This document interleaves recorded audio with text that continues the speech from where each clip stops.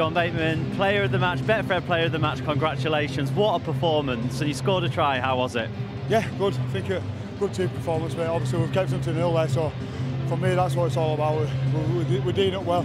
Off the back of last week, we performed second half, one too good, but yeah, really happy with it, mate. Yeah, we spoke a lot about the defence of Wigan uh, before the start of the game and the fact that you kept them scoreless. I mean, was that a focus throughout, really? Yeah, massive.